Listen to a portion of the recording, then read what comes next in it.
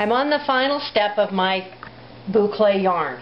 You can see that I've finished plying my core and my wrap yarn. Right now it doesn't look like too much.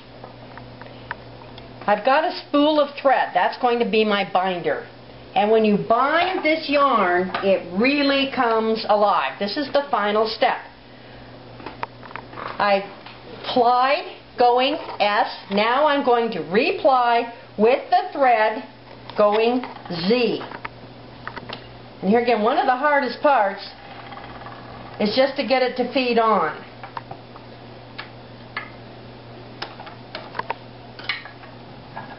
Nothing fancy. Come on.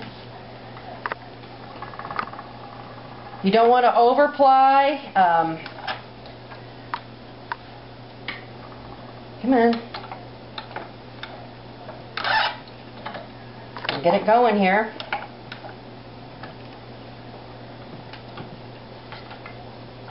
It also hangs up. This is probably one of the biggest problems with this yarn.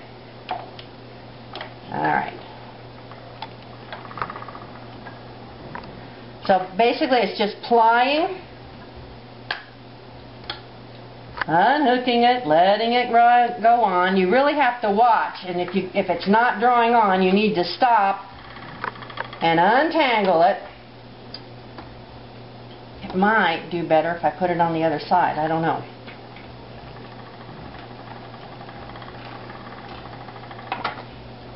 When I finish plying, I'll come back and show you the final skein.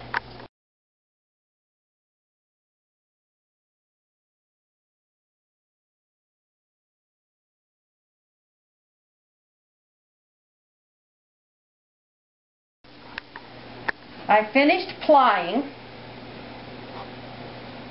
You can see the finished yarn. The binder really brings out the little lumps and bumps.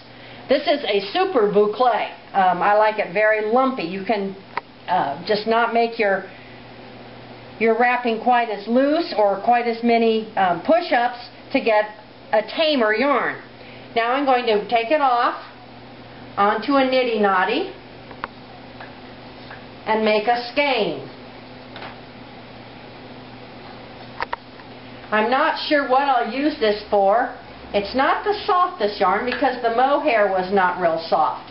But it could make a, a border for a hat as long as it wasn't next to the skin. It could be used as a decorative weaving yarn in the weft.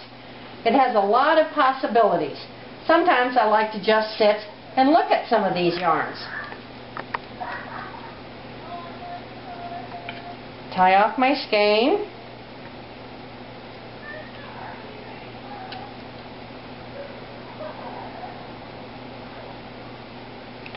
The final stage will be to soak this in some hot water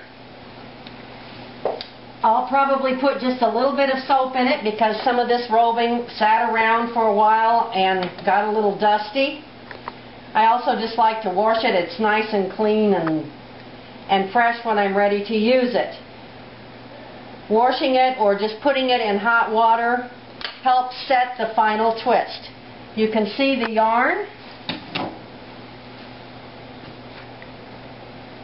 It's rather wild. Put it in a skein, I'm going to twist it.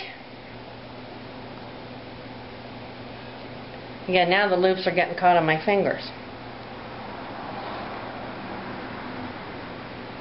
And it's finished. Good luck with your boucle yarn. Have fun.